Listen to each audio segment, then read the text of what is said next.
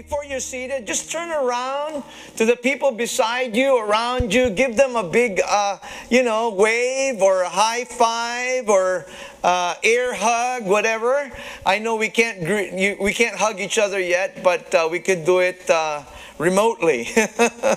Amen. Well, uh, good afternoon, champions. Good to see all of you. Those of you watching us online, we thank God for you and uh, you know, uh, let us know where you are watching from. Uh, just put it on the chat and we'll be happy to connect with you. Uh, for those of you visiting with us today, thank you for coming, being a part of our worship. We're just enjoying in the presence of God today. Amen. What a wonderful time we're having in, in God's presence. Well, uh, friends, I, I trust that you are all doing well. Um, you know, these days we're living through very difficult times. These are difficult days. Um, you know, it's been over a year, it's almost uh, 18 months, I think, uh, that we have been in the pandemic, and it's not over yet. You know, yes, there's some restrictions that are being lifted and things like that, but, you know, this is now almost two years already. Uh, it'll be probably the second Christmas that we will have that we're still in the pandemic. Uh, yes, there's some things that have been uh, loosened up, but uh, we are still going through difficult times, and uh, many people have been affected by this. Um, you know, there's a lot of people who've gone through some health issues, uh, you know, business closures. Uh, some even have gone through a lot of stress and everything, and that's why some people have gone through even mental health issues. And so even the Globe and Mail, the article in the Globe and Mail headline says this. It says, uh, they're going to put it up there, Gen Z and millennials playing a significant part in the great resignation trend. Now, there's a great resignation going on. I don't know if you're aware of that. This phenomena of the great resignation is about masses of people leaving their jobs and this is happening because people have experienced the uncertainty, uh, you know, of lockdowns and everything in the past 18 months, and they don't want to go back to the old normal anymore. They don't want to go to do that, and, and they have experienced a lot of stress. So they take the risk again and, and resign from their jobs. And so, so many people are doing that now. Friends, we go through circumstances in our lives uh, that sometimes paralyzes us. And we seem to be helpless and hopeless. Um, thank god for people who help us. Thank god for people who are there who support us and help us and the people like the church and life groups you know um, our support groups. They're there to help us to be able to help us to overcome no, today, friends, I, I want to talk about faith to overcome. You know, we can find encouragement in the Word of God today um, on how we can have faith to overcome our circumstances, whatever that may be. So I'd like you to turn with me to the Gospel of Matthew, chapter 8, verse 5 to 13. It says this When Jesus entered Capernaum, a centurion came to him asking for help.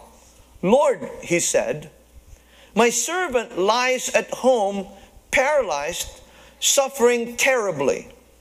And Jesus said to him, Shall I come and heal him? The centurion replied, Lord, I do not deserve to have you come under my roof, but just say the word, and my servant will be healed. For I myself am a man under authority with soldiers under me. I tell this one, go, and he goes, and that one, come, and he comes. I say to my servant, do this, and he does it. When Jesus heard this, he was amazed and said to those following him, Truly I tell you, I have not found anyone in Israel with such great faith. I say to you that many will come from the east and the west and will take their places at the feast with Abraham, Isaac, and Jacob in the kingdom of heaven. But the subjects of the kingdom will be thrown outside into the darkness where there will be weeping and gnashing of teeth. Then Jesus said to the centurion, Go, let it be done just as you believed it would. and his servant was healed at that moment. Well, God bless his word. Now that's a, a miracle that just happened. And, uh, you know, it's a, an amazing passage of scripture that gives encouragement to us. And I trust that uh, this word today will help us and encourage us to have that faith to overcome in our lives. That at the end of this message, if there's anything that we're going through, we will find it in us to be able to increase in our faith, to be able to move forward and overcome our situation. In our passage today, a centurion went to ask Jesus for help. You know, a, a centurion is a, uh, an officer in the Roman army uh, that is like a captain, and he, is, he has about a hundred people under him. We find that the centurion had a servant who was paralyzed and was suffering. Um, a servant can also be viewed as a member of their household. You know, so, someone who is paralyzed, by the way, is practically helpless and hopeless, especially in those times. You know, there were no high tech gadgets, they didn't have those kind of facilities that would allow people to be able to uh, uh, uh, uh get around at, with their disability obviously that person could not go anywhere to get some help. See, not only was the person paralyzed, but this person was suffering. Now, but the centurion learned that Jesus was in Capernaum. Now, and and he sees the opportunity to seek help. Now, that is a very important principle. I want you to hear me very well, those of you watching. When you are in trouble, where do you get help? Who do you go to to get help? You know, a lot of people, they would go to their neighbor, go to their friends, go to whoever, you know, and, and, and try to get help. And some of them will not even, you know, get help anywhere and just try to overcome it themselves. They try to, you know, just work it out in their life and somehow maybe they'll be able to get through it without anybody's help. See, but that's, it, uh, that's a very important principle here of when, when we need to overcome. The first principle is this recognize who Jesus is. You know, the centurion knew where to get help. You know, even though he is a man of stature, he still went to get help. He's a man with a position already. I mean, this man is already a captain, uh, you know, and commanding 100 people under him. Uh, but even at that stature in life, you know, uh, he still needed to get help. In fact, he, he could even afford a servant, right? So he's a man of stature. But still, he went to go and get help. The challenge that we have today, right, is many people do not recognize Jesus' authority over their lives. They don't. In fact, they just add Jesus into their busy schedule. they still go about doing their own thing and then, you know, perhaps just add Jesus and, and uh, still their life is busy. Still they do their own thing and, and Jesus is just a, a, a label that they have that, oh, they're a Christian. But he is not Lord of their lives. All right? Now, the sad thing is, even among Christians, People call them call ourselves Christians, uh, but Jesus is not our Lord. Now He may be our Savior. Oh, you know, they would declare that yes, true enough, Jesus is, is our Savior. He forgave our sins. He, he, he gave us eternal life. But He is not Lord of their life. Because they can still do whatever they want to do with their life. They're not looking to Jesus for the solution in their lives.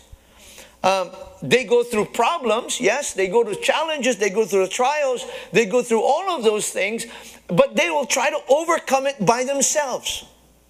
In fact, you know, they, they, they don't really need Jesus in their lives to try and solve their problem. Maybe if they could just work harder, maybe they could just earn more money, you know, maybe if, you know, uh, the COVID will be over, they'll, they'll just be able to overcome it, right? So, so the, the, the first thing that they will do is cut church. You know, I always say this before, and, and as a spiritual dad in the house, let me just remind everybody and just encourage you that when you're going through trouble, when you're going through problems, church is not the one that you give up. Are you hearing me? Because I've seen this a lot of times. People, they have a marital problem, they don't go to church. They have a financial problem, they don't go to church. They have a relationship problem, they don't go to church. They lost a job, they don't go to church. I mean, as if the church is the problem. You see, you know, that's not what we need to do. We need to, we don't run away from Jesus, we run to Jesus. When we're, yes, go ahead, give him praise. He's worthy. When we go through problems in our life, when we go through issues in our life, we need to run to Him. Recognize who Jesus is, is in your life. You see, the centurion knew who Jesus was. He called him Lord. Now this is this is a Gentile calling him Lord, and if you look at the original uh, language in the original uh, Greek word for Lord, he used the term that was a title used for deity or divine being, a supreme being. He addressed Jesus as owner one who possesses authority and supreme above all things. Wow. See, it is not easy for a Roman officer to get help from a Jew. Especially in those days where the Roman Empire was, was the one ruling that government. But he obviously heard about Jesus, that he healed the sick and performed miracles. So he humbled himself to go to Him. Then it takes a lot of humility to go and get help. Are you hearing me today? Amen? But you see, he went and get help. He humbled himself. Why? Because Jesus not only healed the sick, but he also transformed lives. Jesus, friends, who rose from the dead, he healed the sick, the blind man see, the lame walk, the deaf hear. He is the God of miracles. And the great thing about it is that He is willing to help. Imagine the, the, the God of the universe. I mean, the, the, the one who created everything in this world, the one who can perform miracles, the one who rose from the dead, would have time to help. Now, you and I know what it's like to help people. A lot of you are really great people. I'm sure you love to help people. But there comes times when you feel like you're interrupted, right? You know, you're, you want to go somewhere and then somebody needs help. It's like, oh, you know, I know I feel like you feel like interrupted sometimes that you want to help, but there's an interruption, you know, and, uh, but to Jesus, it wasn't an interruption, even though he was going in a certain direction. And then all of a sudden, the centurion needs help. He was willing to stop, turn around, and go to where he needed help. And that's the way Jesus is. He's willing to help. Tell to the person beside you, he's willing to help you. He's willing to help you. Those of you watching online. See, friends, he, asked the centurion, Shall I come and heal him? I will personally go. You know, he emphasized the word I there. I, I will be the one because in the Jewish law, it prevents Jews to enter the homes of a Gentile. So that would have been a problem, you know, for a Jew to go to the Gentile's house. But here was Jesus. It didn't matter to him. So that's why I said, You want me to come? I'll go. Yet Jesus is willing to help. And we know that just a few verses before this, now we didn't read it today, But you will see that just a few verses before our passage today, there was a, a leper who, who needed help, who wanted to get healed of his sickness. You know, because, you know, leprosy, right? Uh, and, and, and he asked Jesus if Jesus is willing to make him clean, to help him. And Jesus says, Yes, I'm willing. And so Jesus spoke the word, be clean, and all of a sudden, miraculously, he was clean. So, friends, Jesus is willing to help you. That's the first thing you got to understand. Recognize who Jesus is in your life. He's there for you, He's not against you. He's not there to condemn you. In fact, the Bible says that He has come uh, in this world, you know, to, to save those who, who are lost and uh, to seek them and, and save those who are lost. I mean, He came in this world not to condemn, but to save. And so, friends, He's here to help us. There's nothing too difficult for our Lord. Now, you may be thinking, oh, you don't know, Pastor, you don't know my situation. Yeah, I, I don't know your situation, but God does. He knows your situation. He, he can heal you of your physical sickness. He is also the healer of your soul. He can heal the deepest hurts and disappointments that you may have, that you may be going through. He can heal that. Recognize that Jesus is your healer, He's your redeemer, and He's your deliverer. There is no one like Him.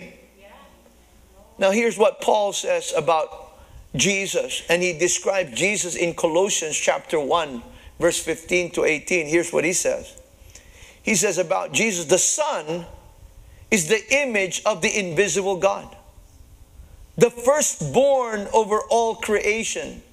For in him all things were created, things in heaven and on earth, visible and invisible, whether thrones or powers or rulers or authorities, all things, say all. See, all things have been created through him and for him. He is before all things, and in him all things hold together. And he is the head of the body, the church. He is the beginning and the firstborn from among the dead, so that in everything he might have the supremacy. Wow. See, friend, the question, you know, having read that, you know who Jesus is, knowing his power of who Jesus is, the question is, who is Jesus to you? Who is he to you? Is he Lord of your life, or he's just someone that you know, you can identify with, oh, yeah, I'm a Christian. You know, I know Jesus. I know about Jesus.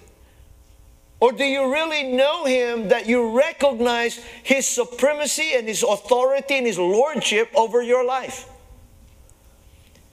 See, He's the only one that can turn your circumstances around. There are many people today who, who are like the servant. You know, they're not able to get to the master for help.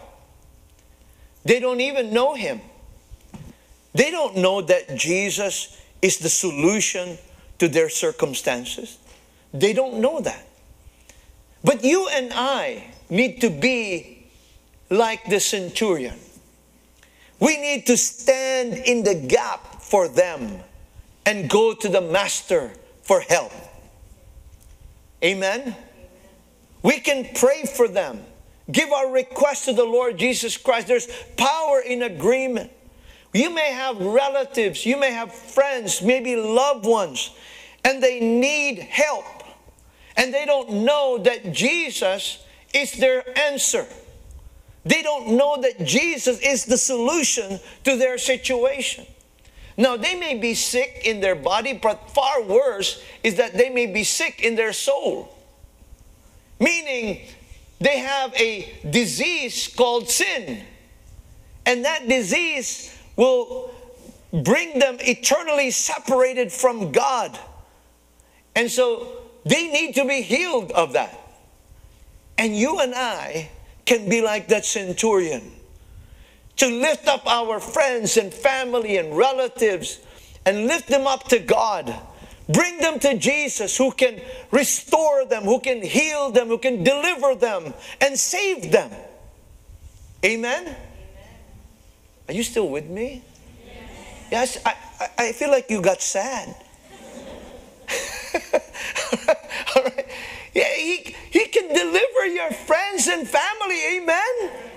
Especially in the season that they need to know why Jesus came as we're coming into this uh, next month and this new season that we're going to see that God has come for them. And we need to stand in the gap. We can pray. He's willing to heal them. You know, especially He can heal their pain and their suffering. So let's have faith in Jesus to overcome. Here's another principle know the authority of the word. See, the, the, centurion knew the power and the authority of the word of God.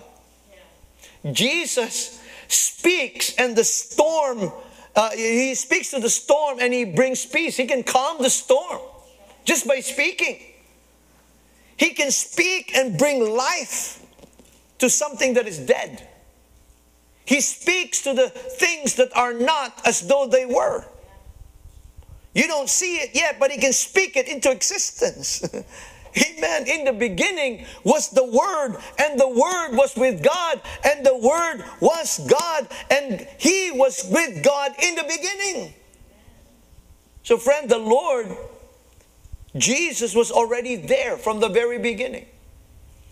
You know, He spoke creation into existence. I mean, I'm trying to paint you this picture so that you can see how powerful Jesus is.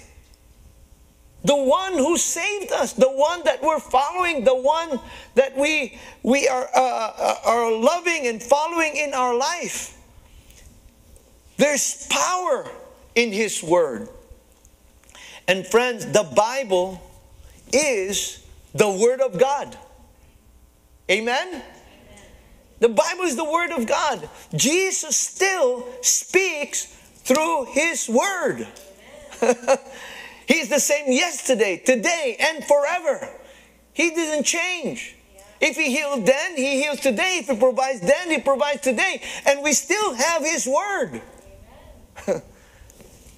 the centurion was humbled by the presence uh, or the response of Jesus that he was actually willing to go to his house and heal his servant.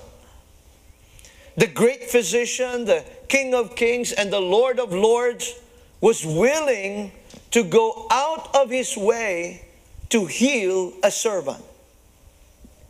Now he felt so unworthy for the master to enter his house. You know, like he said, I, I'm not worthy that you would come into my house. You see, but isn't that the way we all are? We are all unworthy in the presence of a holy God. You know, no matter how you might feel, how good you are, you may feel like I'm righteous, I'm doing the right things, I'm, I'm a good person. No matter how much righteousness and how much you feel good about yourself, we are just filthy rags in the presence of a holy God. He is holy. All right? He, he, he, is God. And just like, you know, how Isaiah felt when he was in the presence of God, he said, I'm, I'm a man with unclean lips. you know, I'm undone in the presence of God. This is where I see my weaknesses. This is where I see my sin in the presence of God. You know, we were singing just this afternoon about, you know, the time that, you know, just entering into the presence of the Lord that, you know, we want to be in His presence, to be here with Him. And I want you to know today that Jesus Christ wants us to enter into His presence of who He is. The Bible tells us in Romans 5 6 to 8, you see, at just the right time when we were still powerless, Christ died for the ungodly. Very rarely will anyone die for a righteous man, man, though for a good man, someone might possibly dare to die. but God demonstrates His own love for us in this. while we were still sinners, Christ died for us. Friends, what a powerful statement that Jesus didn't wait for us to be righteous, He didn't wait for us to be good before He died for us. I mean, he, it's saying in the passage that, you know, um, maybe somebody could die for a, a good person, that's fine.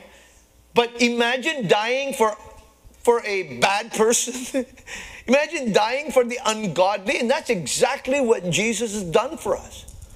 He has come, and those of us, I mean, we, we, we were still living in our sin. He didn't wait for us to get better, to become righteous before He died for us. That's why I always say, you, you, you there's nothing you and I can do that may, will make Jesus love you more.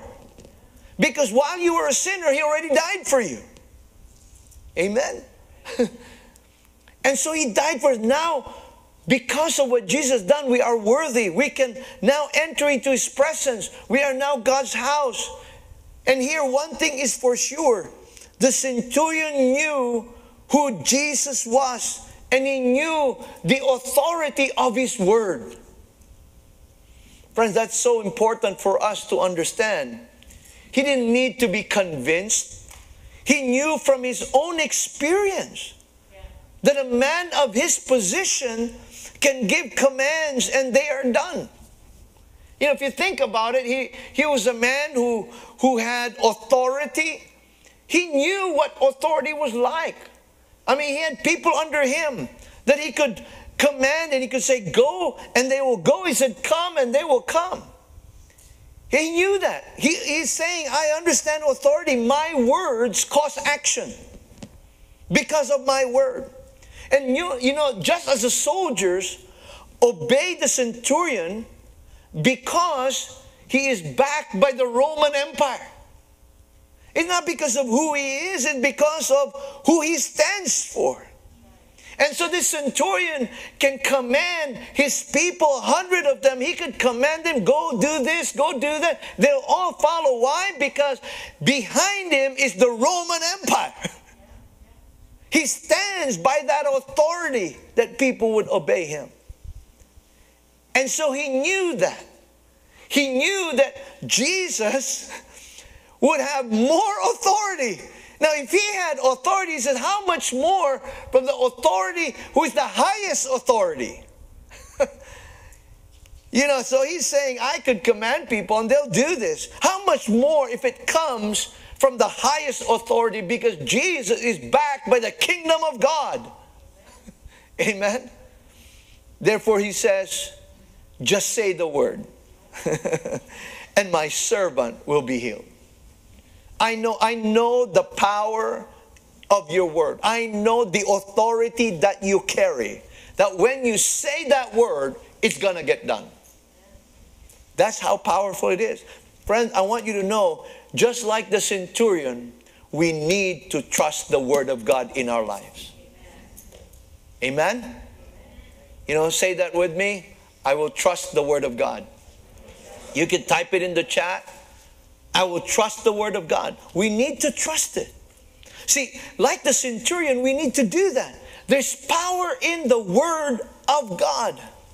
It's not, this is not just a book.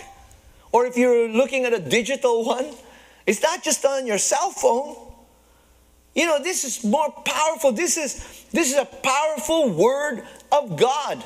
Now, I'm not going to get into all of the, uh, you know, all the the evidence of why this is an inspirational, uh, why this is the inspired of God, why this book is is more than just a regular book. But I'm going to share you to you a passage of scripture in 2 Timothy chapter 3, verse 16 to 17. Let's read it. Here's what it says.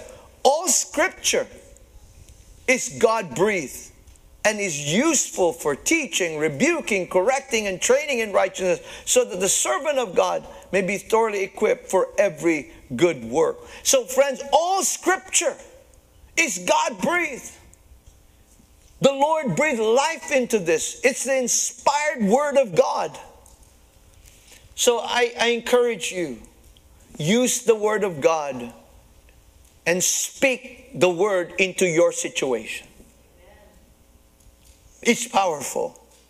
declare His promises into your life because it's His word. Declare the promises of God into your life. When I lack, He is my provider. When I am sick, He is my healer. When I'm anxious, He's my peace. When I am down, He's the lifter of my head. Hallelujah. You know, when I am bound, He's my deliverer. When I am lost, He is my redeemer. Praise God. Amen. Come on, give Him praise. Hallelujah. We can declare the promises of God, whatever your situation is. Speak the word of God into your situation. Let His word do the work. This power and authority that comes through His word. And finally, believe and act. Another principle believe and act. The centurion believed and acted upon the word of God. Jesus said, the centurion demonstrated such great faith that not anyone uh, had in Israel. Nobody in Israel had that kind of faith. Now, what is great faith?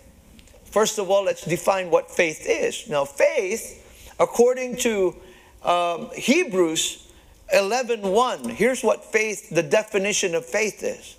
Now, faith is the assurance of things hoped for the conviction of things not seen. So, in other words, you already have the assurance of something that you're hoping for. You're hoping for something. You have the assurance, and not only an assurance, but you have the conviction, even though you have not seen it yet. It's like you, you know that you know it's there, but you haven't seen it yet. you know what I'm saying? So that's the kind of, uh, that's what faith is. You know, um, that you're able to to believe God for something that you have not seen. In in another translation, it says faith is the substance of things hoped for, meaning a substance that there is, uh, it's tangible, right? It's a substance of things that you're hoping for, but the evidence is not yet seen. That's faith. Because if you can see it, that that's not faith. see, Friends, he had great faith because he was believing that Jesus' words have greater authority than the physical facts. That his word is more powerful than the facts. Now, you see, I, I, I say this faith does not deny the fact, it changes the fact. So you're not denying that you're sick. You know, you know, you don't just say, hey, you know, I'm, people say, are you sick? No, no, no, I'm not sick. I'm okay. Hallelujah. No, no. you're sick, okay? So you don't deny the, you deny that, but faith changes that. Are you hearing me?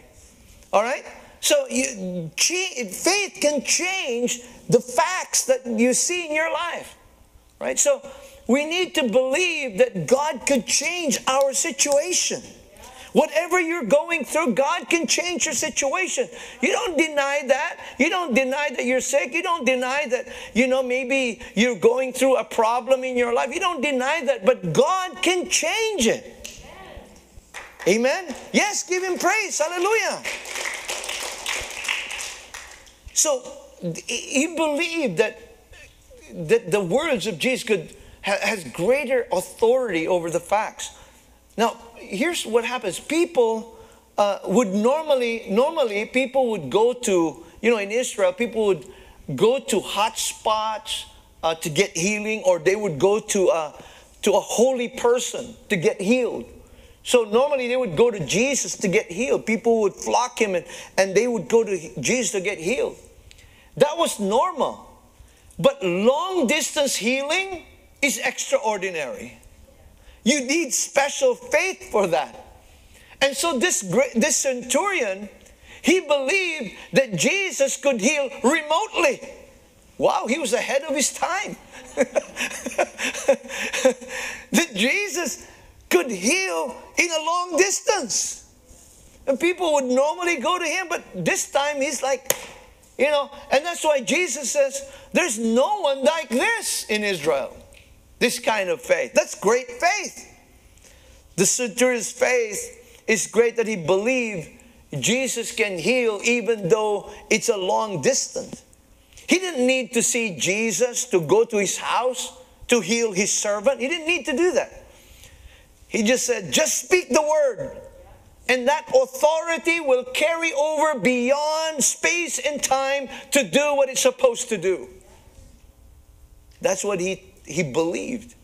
See, friends, God said to the prophet Isaiah, He said to the prophet Isaiah that, you know, when the rain, you know, the rain and the and the snow, right? The rain and the snow, when they come from heaven, they would come to earth and it will not return. This rain and snow will not return to heaven without accomplishing what it's supposed to do. And that is to water the earth so that the flowers will bud and that the seed will grow to bring harvest to the sower. And so then he says in verse 11 and Isaiah 55 uh, is in verse 11.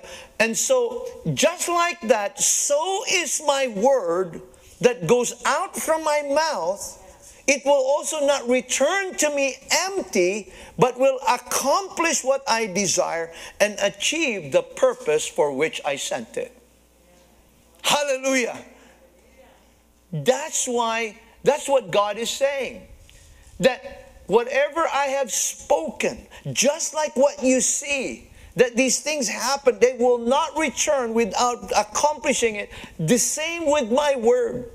The word that I have spoken, it will not return to me void and empty, but it will accomplish the purpose for which I sent it. So, believing that the Word of God will not return void, but will accomplish its purpose. When He says it, we receive it and it's done. Amen? Jesus said, It will be done just as you believed. Now, when he says believed, it's past tense. All right? So, believed is past tense. And then he says, and will be done is future tense. So the believing is past tense, and what's going to happen will be done in the future. So, in other words, you first must believe, then it will be done. You must believe it's done before it's done. That's faith, okay? You must believe that. The problem with us and I know I, I have the same, uh, the same issue and same problem. Sometimes we, we, we uh, lack faith and, uh, you know, we get tempted to doubt. And these things happen to us. And uh, our problem is we are the opposite. Show me first, then I will believe. right? Show me first. You know, I, then I'll believe you. To see is to believe, is what we say. To see is to believe. We always want to see it first, then I will believe. Lord, you know, show me first, then, then I'll believe you. Show me that you can provide, then I'll believe you. You know, it's like saying to the farmer, you know, the, the, the farmer saying, Give me harvest, then I'll plant a seed. now, I know that's crazy, but that's the way it is. That's the way we think. It's like, show me the harvest first, then I'll plant the seed. But you see, the farmer knows that you got to believe first. And so the farmer says, I'm going to plant the seed, I'm going to believe there's going to be a harvest. So even though I don't see anything, even though it could go a long time, nothing is happening, but I'm believing that there will be a harvest. Are you hearing me today? And, and that's what the farmer does. He, he believes it's going to be done. So he's okay. He doesn't lose sleep. He just goes about doing his thing because he knows it's going to come up and he's going to have a harvest. He's already done his part. He just, he just believes and he acts on it and he's not worried about it. He's not stressed about it. Everything is fine. Right? But you see, That's believing. You know, so you can't have a, a, a farmer say, well, no, I'm, I'm going to, you know, believe first. Uh, I'm going to uh, see the harvest first, then I will, I will plant. It doesn't work that way. It, you know, God wants us to believe His word, then He will make it come to pass in our life. Amen? That's amazing of how God works in our lives. And many times we're, we're thinking, you know, I, I've got to see things first. And, and so if it's not happening, you know, we, we, we kind of, you know, uh, stay uh, depressed and, and anxious and wondering, oh God, you know, it's not going to happen. And oh, poor me, it must be the COVID. It's this and it's, you know, it's the government. It's the government's fault. It's everybody's fault. But you see, instead of doing that, we need to believe and trust God that God is doing something. Amen? In our life. So we need to believe and trust the Lord. I remember when I had a big problem. Um, I know I'm the only one who has big problems. So you guys never have a problem, you know. but I had a big problem uh, one time. One of the problems. I mean, there's many, many big problems I have, but um, I, I, had a big problem to overcome. Uh, if you know our building in, uh, in uh, Brampton, our main church, for those of you that are visiting us here in Scarborough, uh, this is not our building. We're renting this from, from this wonderful church.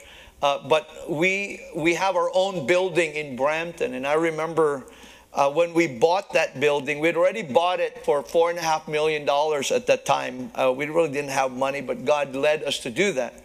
Then the city said, we cannot have a church in that place, all right, in this area, because they changed the laws that you can't have a church in that zoning that's not zoned for a church. It was more of a commercial industrial area. So we don't have a permit and we're not rezoned for place of worship. And so another church I knew right near us sold their building because of that problem. They they just sold it. They said this is it, you know, and and there was so much pressure from the city, from members, from people, and so uh, they sold their building. And um, you know, I, I was having a lot of problems because there were people also a lot of voices telling me things and, um, you know, and, and, I felt at that time, uh, you know, th there was so much uh, issues, and some people even left our church at that time, you know, and because they felt that we made a mistake. You know, it's no good. We will never get a permit here. And so they left, and, and I was hearing so many voices and even advice uh, from some uh, godly people. They told me, you know, you, you, you, you've got to sell the building just, just so that you can at least get some money out of it. Otherwise, you're going to lose money. So, you know, go and sell the building. And, and I went to God, and I remember going to God, and I wanted to see the permit to believe that God was on our side. And I said, Lord, just show me the permit.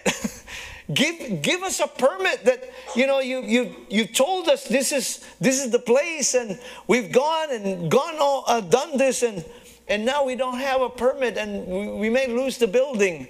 And I said, God, show me the permit. and, you know, I wanted to see, to believe. And God says, no, you, you have to believe. I have to trust God. You just believe. And so I gathered the leadership, my wife and I, uh, you know, when I wasn't believing in myself, my wife was believing in me. Praise God. Hallelujah, Mama E. Praise God. So she believes in you, you know. You know. So anyway, she, she believed in me. We, we had our leadership gathered together and we prayed and we trusted God. We believed God. And so after we believed and we trusted God, we left it alone. We, we, that's it. We, we felt like, okay, that's it. We prayed, we believed it, and we've received it, and now God's, uh, is now under God. And so we just went about doing our normal life. You know, we just kept going, and we, you know, anytime uh, we could lose the building, but we didn't think that way anymore. We believed, we prayed, we have faith and we're going to receive it. And so we just kept going and going, doing our ministry, doing all the things we need to do. And that was pre pandemic. So we, we were, had a lot of activities in the church. We were doing so many things. And so we just kept going. And then, sure enough, God miraculously touched the hearts of the city officials and, and changed their hearts that today, you know, we got a permit and they did a separate bylaw just for our building. Can you imagine that? Come on, give him praise. Hallelujah. Imagine a separate bylaw. They had to make a law for our building to be able to, to continue in as a place of worship. That's amazing. That's how God works. But it took some time. We, we didn't know what was going to happen, and there were all, all kinds of issues. And just because you have issues doesn't mean God's not going to do it. Sometimes He's testing us. And just because you're seeing some rough road doesn't mean that God will not fulfill His promise in your life. So I want to encourage you.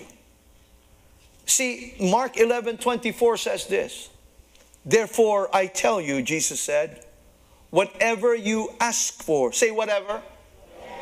Okay, so whatever you ask for in prayer, believe that you have what? Received it, and it will be yours. Now, received it meaning you believed it's already done. You already have it. But you don't have it yet. But he said, it will be yours down the road but you already believed it in your heart. You already received it in your heart. You know this is what God had called you. This is what God has promised in your life. To have great faith is believing that the Word of God is applicable in every situation in our life. The Word of God is alive and will bring life to what is dying. It will, you know, we were singing about that, meaning, you know, bringing life to the dead bones. It will bring life to a discouraged soul.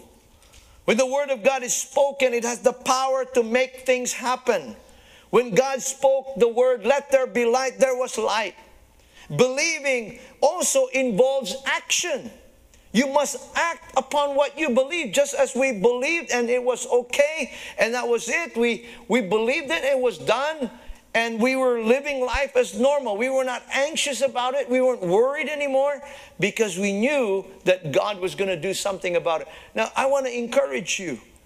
You know, when you're believing and you're acting upon it, don't go in, you know, you, you prayed and you go, oh, I don't know, you know, I hope so. I don't think it'll ever be done. And after you've just prayed and now you're believing the opposite.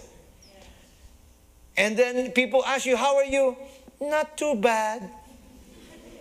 No, it's bad, but it's not too bad. right? And, and, you know, oh, I have nothing. Oh, I got no job, or I got no this, and I got this problem and that problem, and all kinds of. And yet you prayed and believed God. You need to act, and even though, listen, you know, I'm not saying you're faking it or anything, I'm just saying you have the conviction. It's just the confidence that you have. I'm not saying you're you're faking. I'm saying you have the conviction, you believe. So, you know, maybe you don't have a job and you're already believing God. You prayed and God said to you, I'm going to be your provider. You know, because I know that you you work hard, you trust in me. I'm going to give you the job that is suited for you. And so here you are. You know, you don't have a job, but you should be walking like, you know, you have a job. Amen. People ask you, How are you? I am blessed. Hallelujah. you know, you have a job, it's coming. Amen. it's coming. It's on the way, right? Because you're believing God. I, am not saying you're denying the fact. I'm just saying you're trusting God. You, you haven't seen it yet, but you have the conviction of something you haven't seen. And that's faith. And you need to act on it. That's why Jesus said, Go. It will be done just as you believe it would. If you believed it, he said, It's done for you. According to your faith, it's done to you. See, friends, after you received the word and believed it, then just act upon it. Just go, knowing that God has already done it. Amen? You must take possession of what is already yours. And I want to encourage you, whatever you are going through, as I mentioned to you a while ago, there are times where you don't see anything happening yet. You may feel like giving up already and losing trust in the Word of God. I want to encourage you don't lose hope. Continue on because God is not a man that he should lie. He is his promises are yes and amen. It's true. He whatever he said it will be done. It shall come to pass. If he has promised that to you and if it says it in his word and that's you can declare it in your life, if you know that God has spoken to you about that, he will bring it to pass. And I want to stand with you in agreement to believe God with you that it will be done for you. Maybe you're waiting for, for uh, the papers, you know. Uh, you, you, feel like, oh, I need the papers to be here, or, you know, as a student, or as an immigrant, or maybe uh, you needed this, this employment that you need. And friend, you may be going through some difficult things in your life, even those of you watching online. But I want you to know that when you believe God and He's spoken into your life, even though you will see all the different circumstances around you, you can still overcome because of who Jesus is in your life. Amen? Give Him praise. Don't let the circumstances overwhelm you. When you have faith, you can overcome. Jesus' words spoken and believed in destroyed the paralysis and healed the manservant. There is no distance with God. He's no respecter of place and people, and His promises are true. No matter how difficult our circumstances may be, whether physical or otherwise, we can overcome our circumstances, when we recognize who Jesus is, we know the authority of His Word, and we believe and act upon it. Amen? You received that today? Praise God. Come on, give Him praise. Hallelujah. So, let me pray for you today. You may be going through. Those of you that are watching online, I want to pray with you. Uh, but before I can uh, pray with you, I want you to know that you need to recognize who Jesus is in your life. We need to ask forgiveness from God if we have somehow put him in the back burner or just put him on the side we try to do things on our own. We need to repent of that.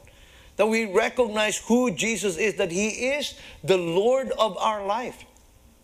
That it is the so he is the source of everything. Without him, we can do nothing. We need to recognize that. Because sometimes we, we go through on our own life as if Jesus didn't exist.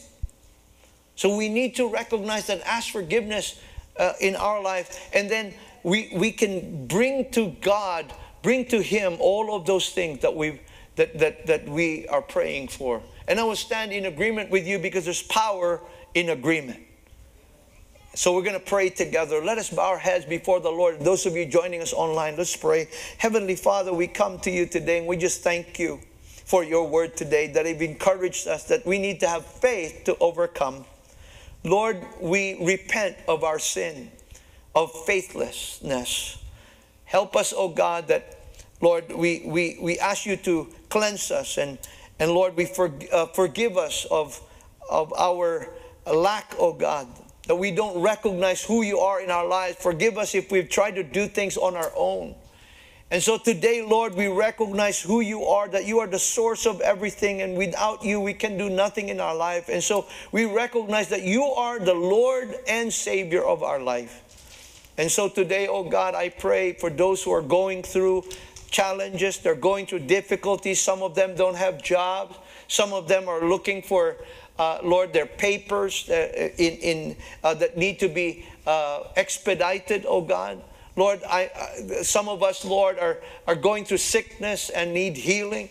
We we, we, have people who are relatives who are not here. They may be somewhere else. Oh God, we're standing in the gap for them to heal them, deliver them, save them, oh God, today.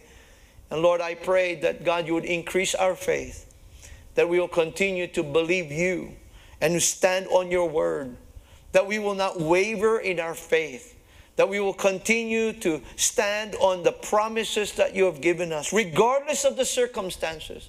And God, that we will not lose hope. And that, Lord, we will know the authority of your word, that we will believe in it and we will act upon it.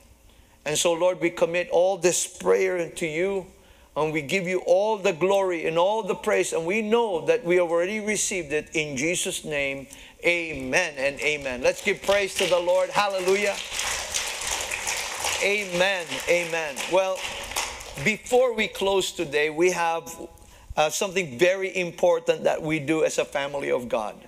And as a family of God, it's always a joy when new people become members of our family. You know, because uh, the church is a family of God. We're not an institution or an organization, we're a family of God. And when people join us to become a part of our family, we, we are blessed and we want to recognize them.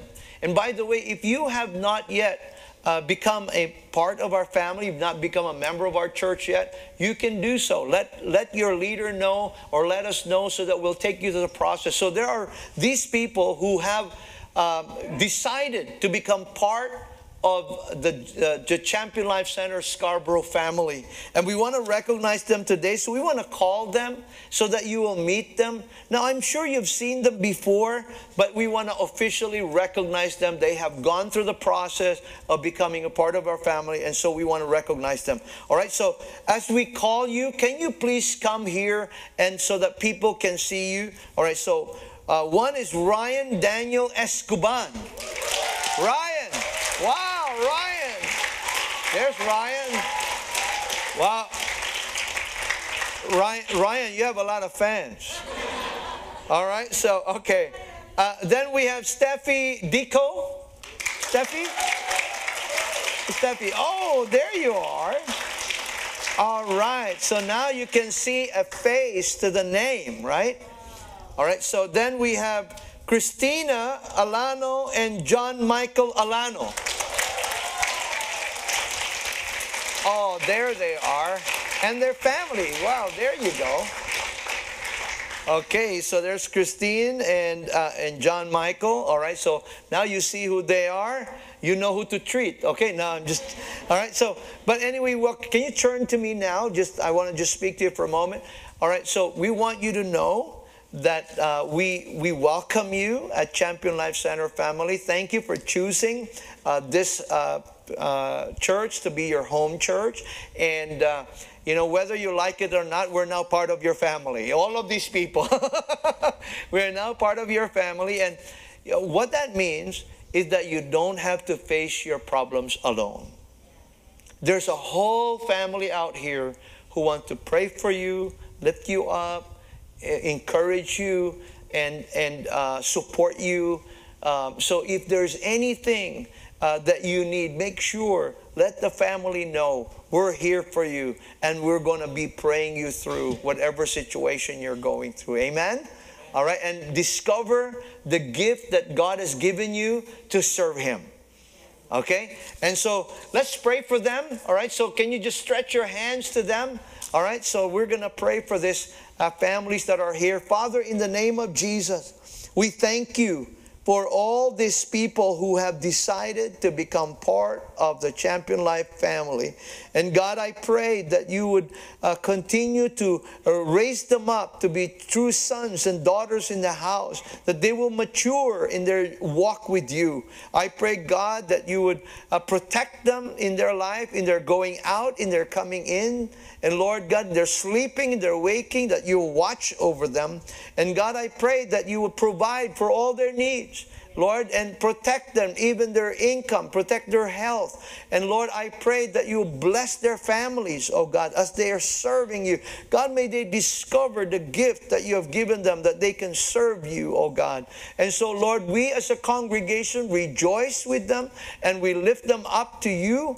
And God, we thank you for their lives and we give you all the glory and praise in Jesus' name. Amen and amen. Let's congratulate them. Hallelujah. Praise God. You may be seated. Hallelujah. There you are. Praise the Lord. Praise the Lord. Amen. What an exciting time. Amen. Those of you that are watching us, you know, I would encourage you. Uh, you know, there's still some more seats available. You probably thought that there's not enough room. There's still a lot more room. You can come and join us, all right? If you have been watching us for a long time and if you're just in the area, why not come and be part of the worship here in the family of God? Amen? All right, and so uh, let's all stand. Uh, we're going to dismiss with the blessing of the Lord. All right, and those of you watching us online, you can also uh, receive the blessing. Stretch your hands to heaven and receive the blessing of the Lord. May the Lord bless you and keep you. May the Lord shine his face upon you and be gracious to you. May the Lord lift up his countenance on you and give you his peace. May he cause you to walk under an open heaven. May he cause you to prosper in every area of your life, even as your soul prospers. He opened doors of opportunities for you that you can enter in and be victorious for God. May He continue to fill you with His love, grace, and the power of His Spirit throughout this week and until He comes. In Jesus' name, amen and amen. God bless you. Have a great week. Wow, our family is really growing. So to our new family members, Steffi, Jan, Tin and Ryan, we just invite you to please go to the uh, room on your right as you exit, and our pastors and leaders will meet and greet you, okay? And Amen. yeah, welcome to CLC family, and we hope and we're excited to really walk and grow with you. Thank you.